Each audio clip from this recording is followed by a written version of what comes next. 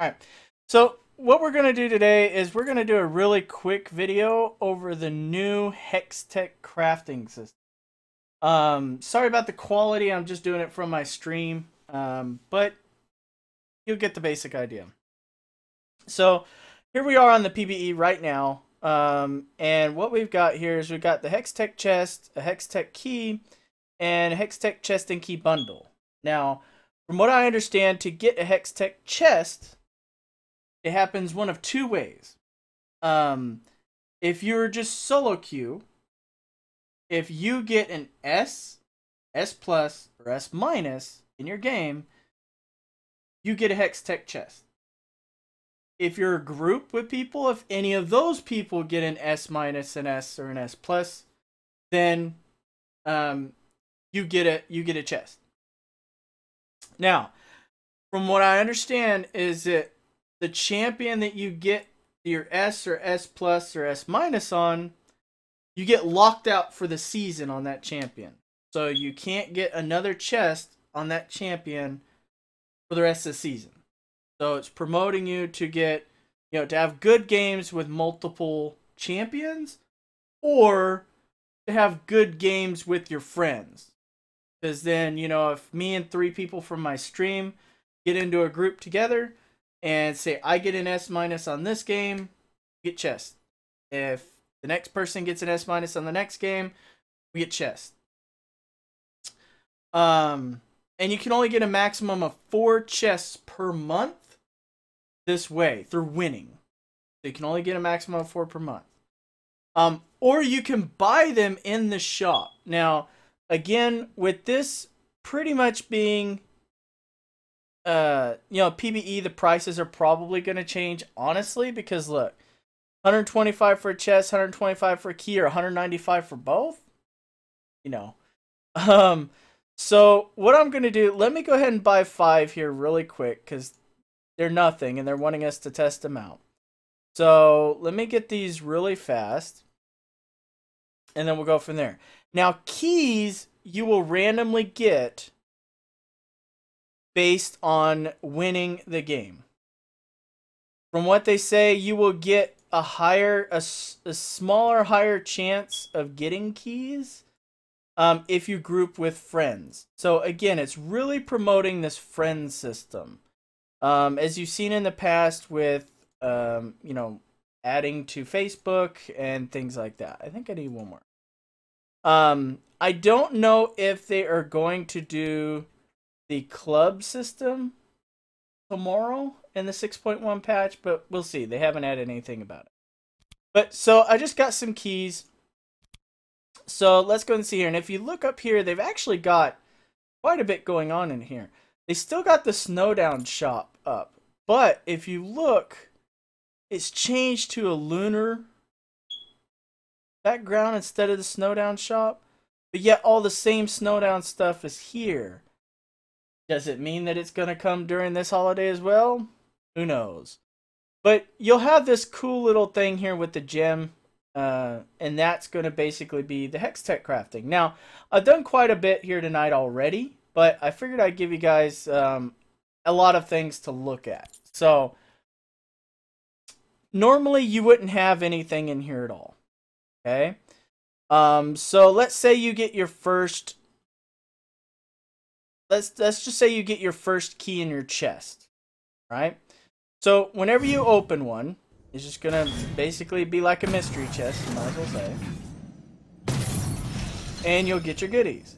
Now, as you can see here, I got a haunting ward skin shard. And that's it. So Sometimes you get one thing, sometimes you may get two, sometimes you may get three. Um, it's completely random. Now, shards are what I've been referring to on the stream as cards, I guess you can say.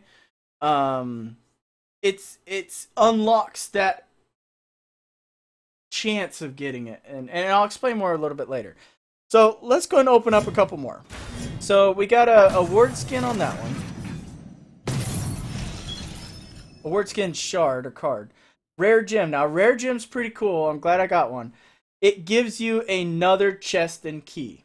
And it always gives you that and something else. So let's see what else we get from it. We got Pumpkinhead Fiddlestick skin shard. That's cool too.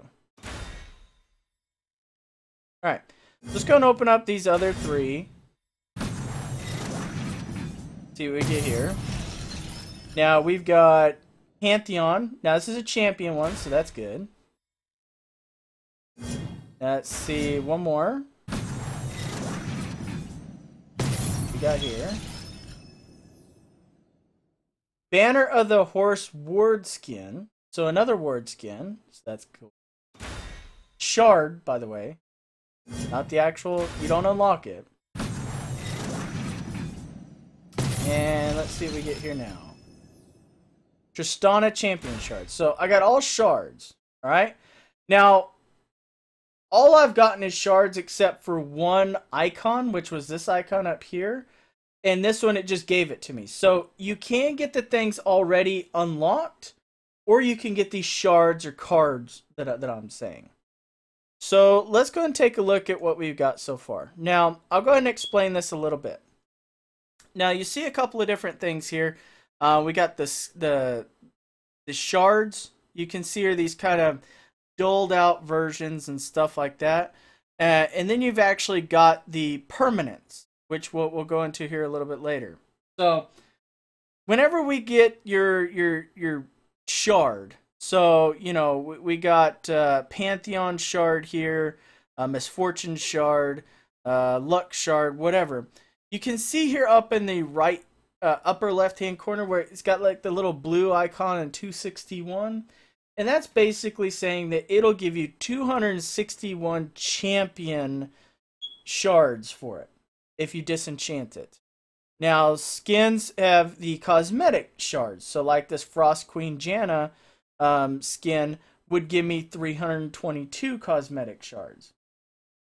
So um, that kind of explains the shard system down here. Now, if let's say you want Pantheon, okay, you got the shard for Pantheon, and you want it, what do you do then? You know, if you want to upgrade it to a permanent one, you have to have 490 champion shards already to even unlock him. So, you know, if, if you if you haven't already disenchanted a bunch of champion shards, you can't unlock him. All right? So, there's a couple of other ways to do it. Now, let's say this reroll into random champion permanent. Now, this is pretty cool. Let's say we don't want that one. Alright? And let's say, well, we don't want Skarner either, or Fiora, or, or any of these other ones. You know, what do we do with them? Now, let's find some of these that are really low. Okay? So, they're not going to give us a lot of shards. Right? So, like, Veigar is only 193 shards, and Tristan is only 193 shards. So, we're going to get rid of all three of these to give us a permanent champion. Right? So if we if we use three shards, we can get a random, basically a mystery champion skin. Best way to, or mystery champion is the way to say it. So we're gonna roll these three. So you know we're gonna re-roll these, and we're gonna permanently unlock a new champion. So we got Caitlyn. So now whenever you get the Caitlyn champion permanent, it adds it into your inventory, basically. So then the same thing the, the same thing happens with skin. You know, the skins are the exact same thing uh, to unlock them. Um, and the same way with the ward, you know, everything is you can use three things to unlock something permanently. Right? So you you basically can go with and trade in three shards for something permanent, but it's going to be random. So it's basically like giving yourself a random skin or a random champion mystery gift. Now, you can also um, activate as a rental for seven days. Now, I think this is kind of cool. If you get a champion that you're not sure you'd like, like Skarner, I personally have never played Skarner, but I want to give him a shot, and he's not free in the ne- near foreseeable future. You know, I can activate him for seven days and play him for seven days, see if I like him. And all that takes, I believe, is just one shard. Yeah, you just need the card. That's it. So, um, that's a pretty cool thing. Now, the other things that you can do um, is, like I said, you can disenchant it. So, um, let's say you know we've got um, somebody really high like like Fiora. All right, let's say you've already got Fiora. All right, now you don't want to put somebody that, as you can see, whenever we tried to permanently unlock one, it took quite a bit of shards to unlock it. So this one's going to give us 322, and I've already got Fiora. So I'm going to go ahead and disenchant this one. And it's going to give me 322 champion essence. So now I have 1327. So it's going to take a while to build this up. You're, you're not going to be getting a bunch of free champions and stuff right off the bat. Um, and you're going to kind of have to play what you want to do. You know, do I want to keep this? Do I want to disenchant it? Do I want to keep it for maybe a reroll later? Um, yeah, you're going to kind of have to think of these things way ahead of time. So, hopefully that that answers a little bit about the system. Um, one thing I have found is you cannot gift it at least on the PBE. So hopefully in live you will be able to gift keys and stuff like that. Now, some of these things, as you can see here with uh, Malzahar, Snow Day Malzahar, um, I've already unlocked it. I traded in three skin shards, and I got that as a permanent one. So now you've got the permanent thing. So you got your your free mystery gift. You might as well say. What do you want to do with it? You can disenchant it. You can re-roll it again, but just before, you have to add two more. So, they're going to cost you three. Or you can actually unlock it. So, since it's a permanent, I don't have to spend any any essence to unlock it. So, like with the Snow Day Malzahar, yes, I wanted that one. Oh, thank God, I can't get it anymore. Thank you. Now I have it. So, if I went into my inventory and I wanted to see Malzahar, and I wanted to play that skin now. All my hard work paid off, and I now have Snow Day Malzahar. So, um, that the, these gold rimmed ones, see how they're not they're not shaded out. Like these are really dull and they're blue. The gold ones and they're really really bright is basically a permanent, which means it's unlocked. Now, through the boxes, like I said, I got an icon. But that's the only thing I've gotten that was already unlocked. There's already a permanent. That's the only one. Um, everything else has all been um, just these shards. So, and ward skins will be the exact same way. You know, you, you can unlock it. Uh, but the ward skins, and I'm pretty sure the champion icons as well, will be um, cosmetic essence, not champion. So again, you're going to have a different pool for it. So since we got a gem uh, in our last one, let's go ahead and get into that. So if you do get a rare gem, like I said, it's basically like the snowball event that just happened. If you get a legendary when you gifted a legendary, well, guess what? You get another skin. So in this particular case, I opened up a chest with a key and I got a rare gem and something else. Well, the rare gem, if you forge it, gives you another chest and key. So it's like a snowball. So we got a rare chest, uh, we got a rare gem. Now we got a chest and key. Let's see what we got out of this one. If we got anything special out of this one.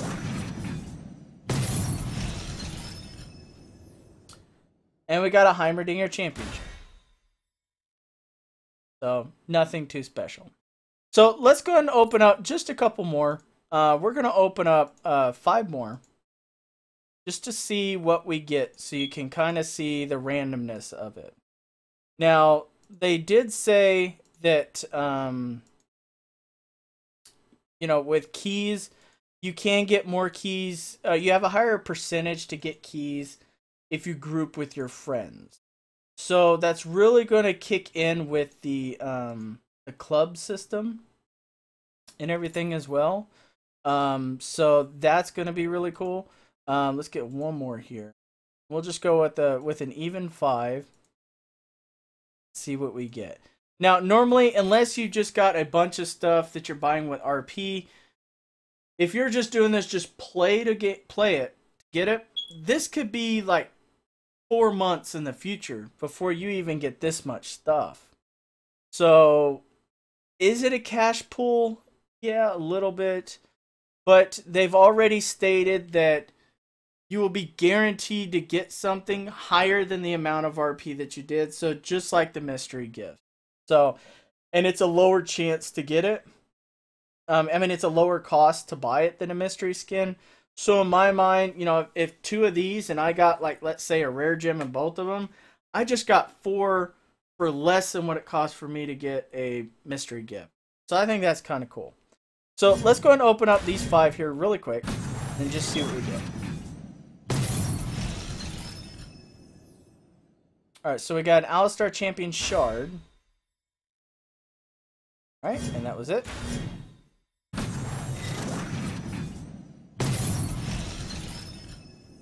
And we got Dragon Blade Riven Shard.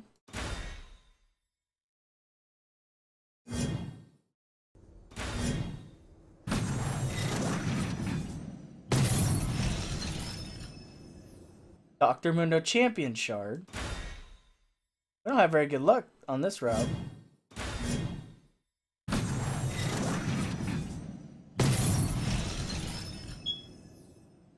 Battlecast Ward shard.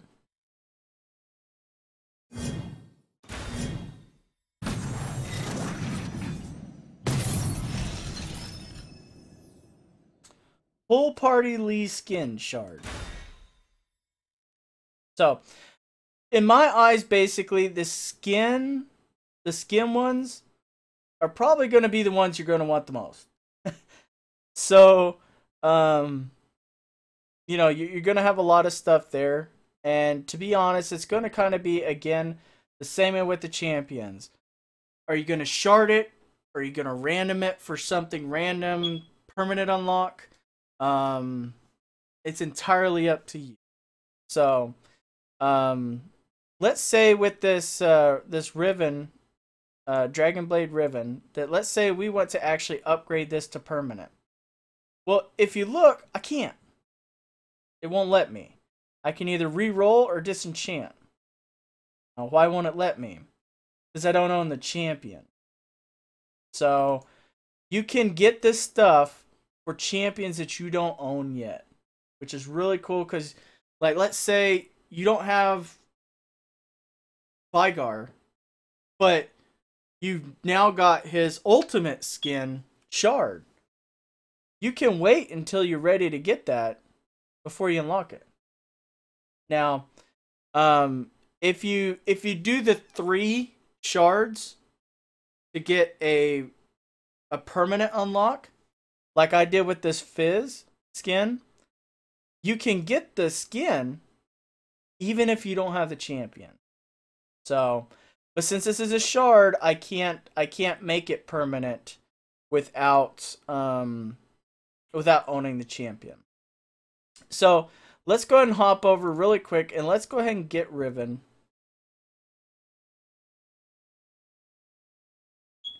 And now whenever you look at it, we can upgrade it to permanent. So I can spend 1,050 cosmetic shards to upgrade it. I don't have that much. I got 472. So, um, we would have to go through and like, let's say this will give me 200 uh, this will give me 300. This will give me 300. You know, what are you going to do? You know, you may have to wait quite a while. So I would definitely recommend if you ever get a, a skin shard as a legacy skin, um, to keep it. Don't do anything with it. Keep it for unlock. for sure. Um, if it's a skin you don't like and you want to take a chance, you know, before you have something really cool, I would say go ahead and put it in the the um, reroll and see what you get.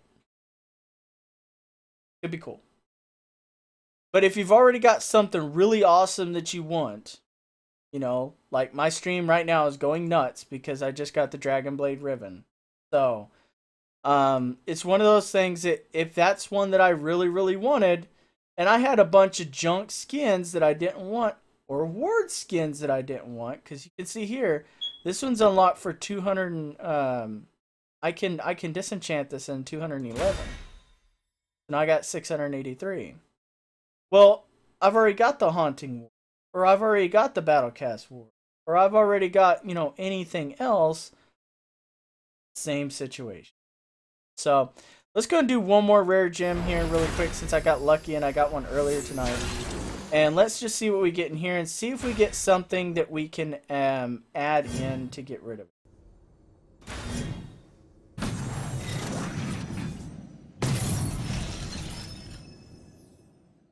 Alright, so Bandit Sivir Skin Shard. I'm just not having any luck tonight. So, um, since we got that skin shard, we can go through here and it's 248. So let's go and disenchant that. Now that's a 931. So let's find one more thing here. I'm not entirely sure which ones of these are still available that I can even get here on the PBE. So let's take a look here at this Janna one will give me quite a bit. So how much do I need? I need 10, 1,050. So I need at least 200 more. Uh, Arcade Hecarim I know we can get. So let's go ahead and disenchant Arcade Hecarim. So we got 1377. So let's go and get this Dragon Blade and Dragon Blade and let's go and upgrade it to permanent. So we're gonna use 1050 cosmetic essence. and it permanently adds that skin to my and that's pretty much it so now if I went in and I looked at my champion and I checked out Riven you can see I now have Dragon Blade so hopefully that explains the system for you guys and uh, can give you a little bit of insight on it. Now, again, I don't know if it's just because it's a PBE and you can't gift it, or if they're not going to be gifted at all. But hopefully, this will help you a little bit. And I've never actually seen Banner of the Horse, or that's weird. Must be old. Um, so hopefully that can give you guys a little bit of an insight. So thank you once again for for um, watching this video. If you do like it, please thumbs up and uh, favorite this video. And feel free to join me on Twitch. Uh, I am on twitch.tv slash Shadraak. Uh, this is my Twitch stream. Um, I'm pretty much streaming all day right now. So uh, I don't have a schedule anymore. So um, feel free to drop in, uh, follow the stream if I'm not here, so you can be notified. And um, you know we got a we got a bot now. You can get coins if you just want to AFK. Uh, we're doing some giveaways. I just gave away a key for um, Punch Club tonight. Um, I still have um, a whole bunch of things uh, to give away. So uh, we do need to build the follower up. So all right, my my my chat is going insane. So hold on, I'm going to re-enable chat so everybody can say hi. So give me just a moment, and let me find it here. Right. And here is chat all saying hi. So, Abstep is going insane. Um, so yes, hello YouTube. Everybody say hi YouTube. So, um, thank you very much for follow for for watching. Um, be sure to subscribe. I haven't made a lot of videos in a while, uh, mainly because I've been streaming, but I promise to make some videos if you request them. So please leave a comment and uh, follow stream and let me know what you think. If you have any other questions about this system, definitely let me know. Thank you very much.